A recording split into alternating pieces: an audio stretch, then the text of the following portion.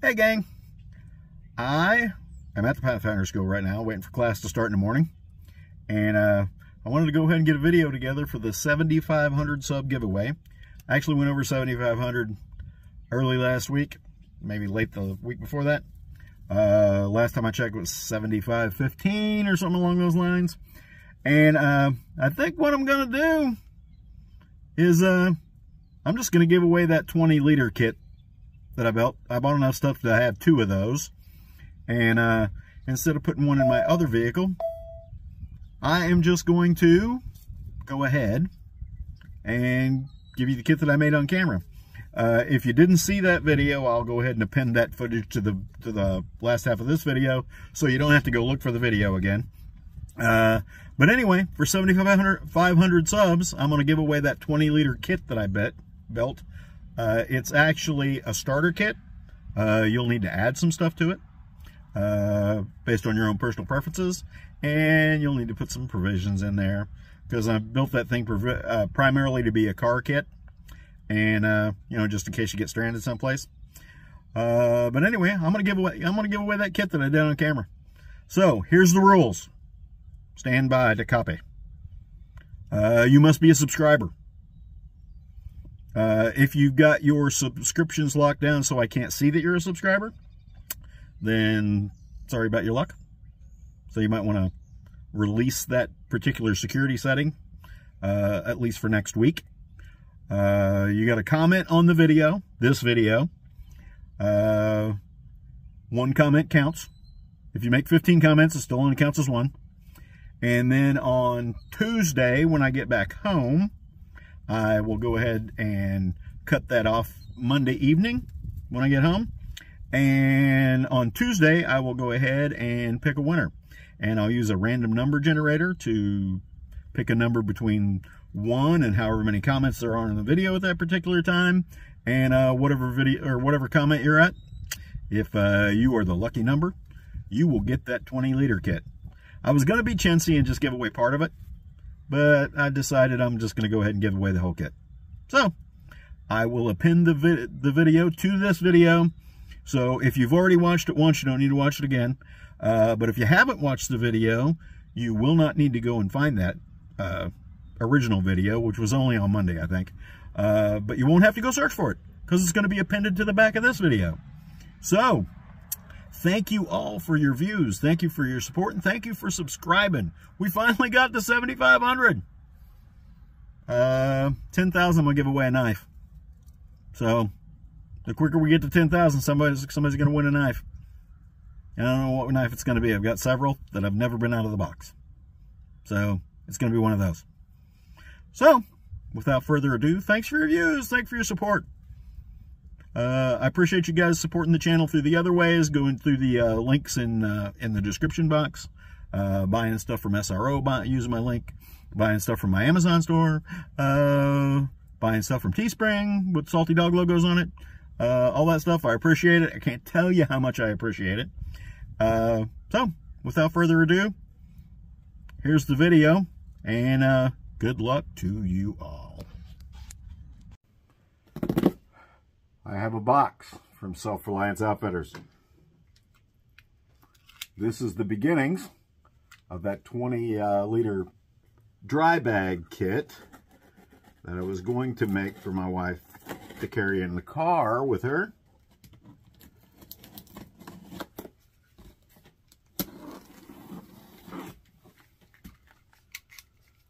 And it came while I was gone, so it's been sitting here for, I don't know, a week or maybe two now. Sorry. But you also notice that everything in here is doubled because I think I might give some of the stuff away. My camera is very unstable where it is. Sorry about that. Need to get me one of them gantry rigs.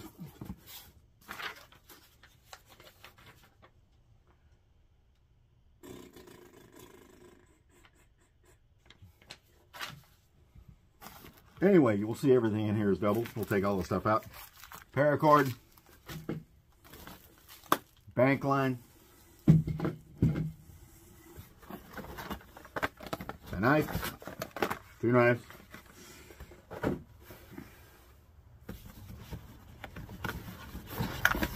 Two utility blankets.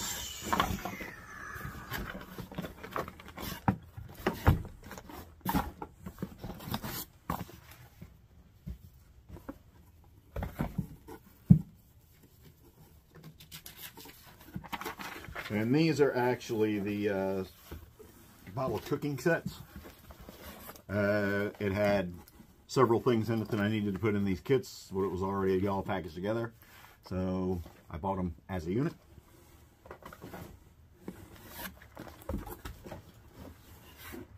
And of course, 20 liter dry bag.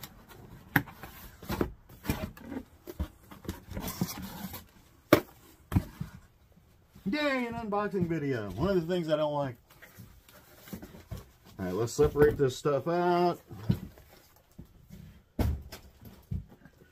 We're gonna need one of you, one of you, one of you, one of you, one of you, and one of you. Wow, probably should be careful.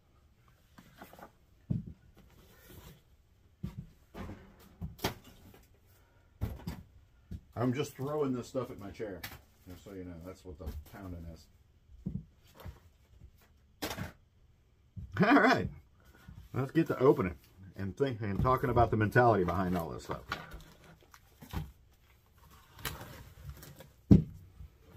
Okay, so we've got a 20 liter dry bag. This is the larger dry bag that Self Reliance Outfitters has.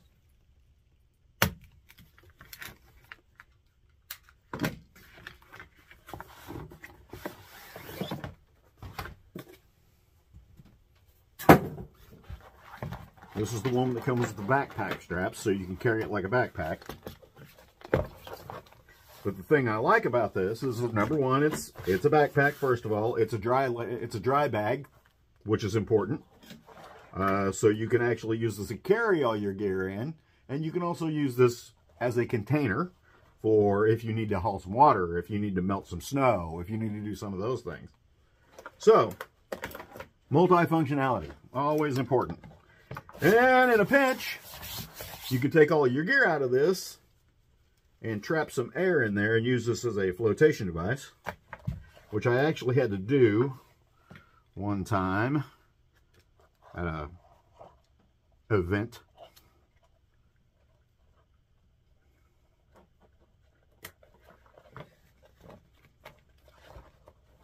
I carry two or three of these things in my van. Uh, and they've all held up well. Uh, I've heard some folks who have broken the who have broken the clips and all all those kind of things, but I actually think that's uh, maybe a little bit of abuse because I have never broken one of these, and I'm not easy on anything.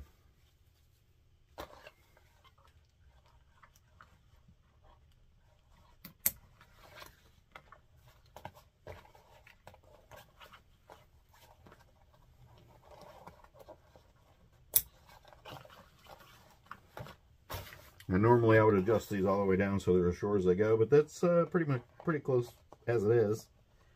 Uh, because my wife is not a large lady. So she will need these straps to be as short as they possibly are. If she's going to carry it like a backpack, which I don't anticipate her doing.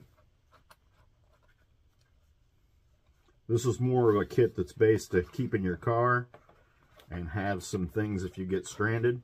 Now, of course, with all the stuff that I would have in here, I would add some kind of rations or something along those lines.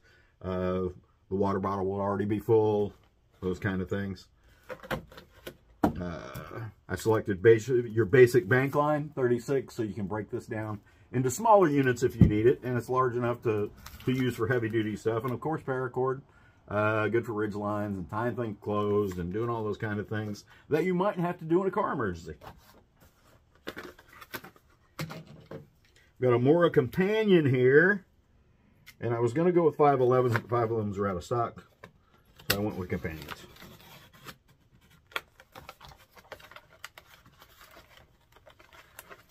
Didn't go quite high enough on that one. I'm not going to fight with this thing because it's a Mora. It'll be razor sharp coming out of the package. And I don't want to bleed in the video.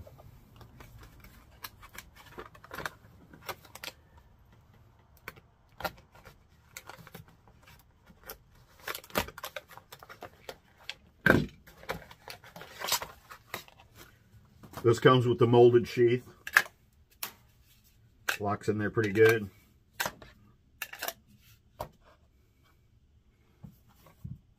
And I went with the new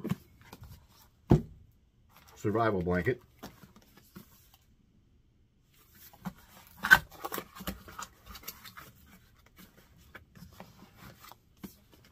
I'm not going to go for trying to get this as small as I can possibly get it because it's a 20 liter dry bag and like I said this is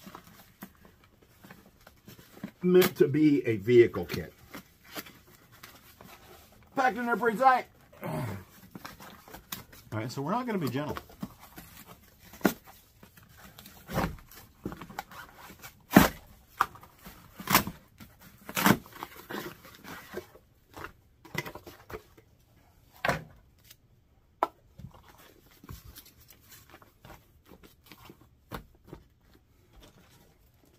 And last but not least, what I'm putting in here for starts is this bottle cooking kit.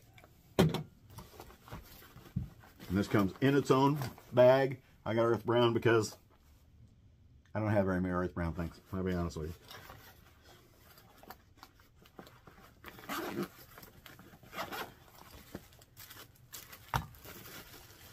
Lid for the cup. 32 ounce bottle.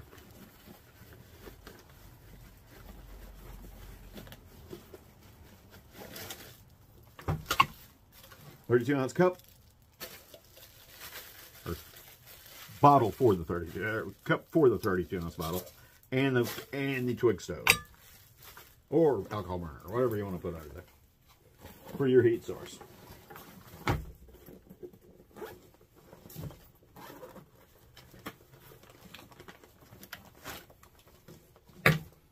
This also comes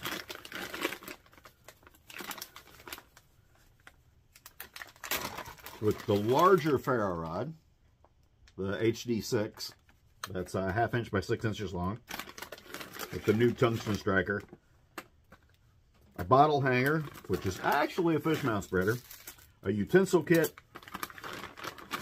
and some mini infernos. Now, my wife knows how to use all this stuff. It's important, if you don't know how to use it, to practice with it before you need it.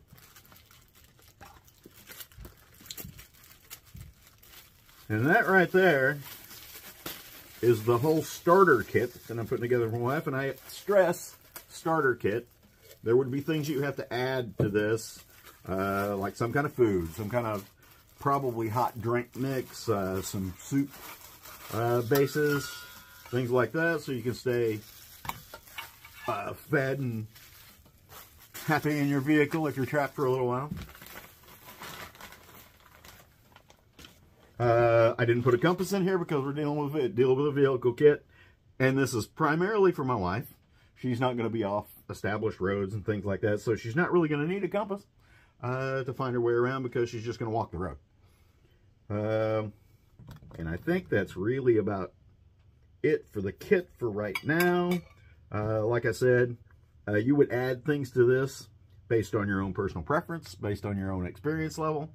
And that's uh, basically what we got going.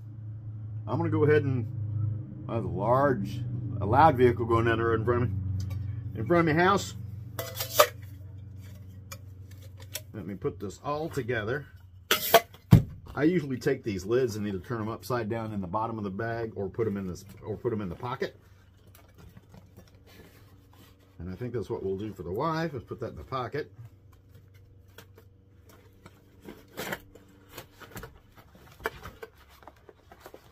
Now this bag leaves you enough room where you could actually put a bottle stove or something in here. Uh, a small burner. Uh, it's really good for the bottles and the, for the isobutane bottles and the and the uh, titanium stove.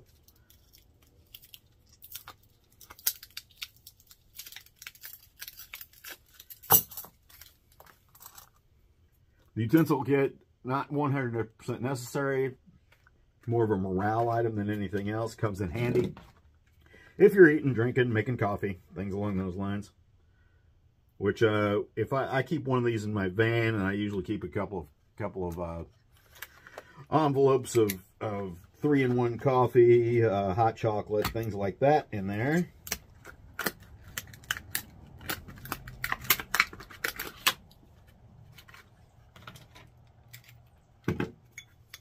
Fire starting and utensils I would keep in this front pocket here along with like I said a couple of uh, packets of maybe uh, soup base uh, hot chocolate coffee things along those lines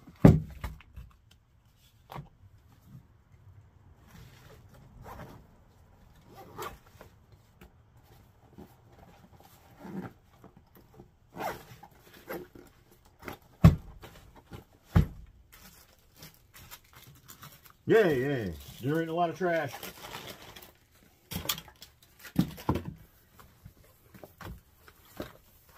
Now, I suggest if you do something like this, you go go ahead through and put uh, put a cordage loop in each one of these grommets ahead of time. Probably that doubled over or with a lark's head, extend out about four to five inches from the corners of the tarp. Uh, so you got a got a set ready to go. I would also add some stakes to this. Uh, so if you had to make a shelter, you could. But it's like I said, since this is primarily going to be a vehicle kit for my wife, uh, she's going to use this to wrap up in if she gets cold in the vehicle.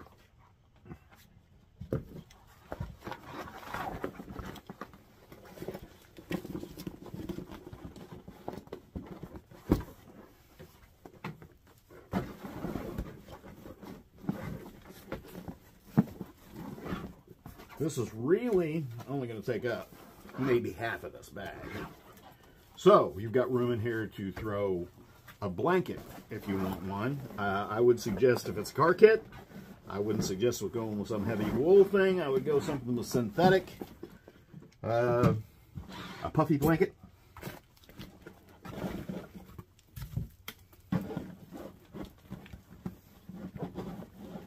Kind of feeding this stuff down in here so it fills up the bottom and keeps the unit round. And there you have it. Less than half. I don't know if you can see that or not, but it's full less than halfway. I've still got a, a full elbow width to go to the top. Close this down. I'm going to burp it. Force all the air out of there. Then I'm going to give it a couple of rolls.